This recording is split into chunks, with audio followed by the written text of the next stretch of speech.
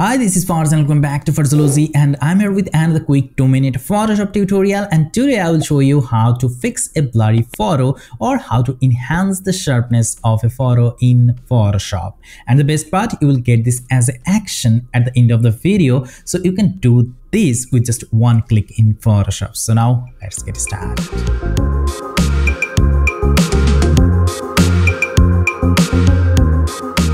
Okay, you can see this picture it looks little blurry.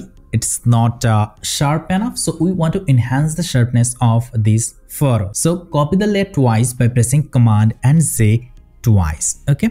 Now select the top layer right click and choose convert to smart object. So you can easily come back and change the value if needed. Now press and hold command key and select the layer 1 and layer 1 copy. Now press command and z to make a group and now select the top layer, press Command and I to invert this one and change the blend mode to vivid light. Then go to filter, blur and go to the Gaussian blur option and increase the radius value gradually to bring out the details. Look at this. So here I'm going with 7.4, set the radius value according to your picture, okay? So let's go with 7.4 for this picture. Okay. Now select the group layer and sense the blend mode of the group layer to overlay. And look at this.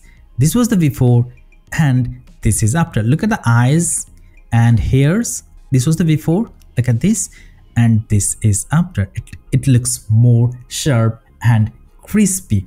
If you want to tweak the sharpness further, just double click on the Gaussian blur and you can adjust the radius value from here. So that's it.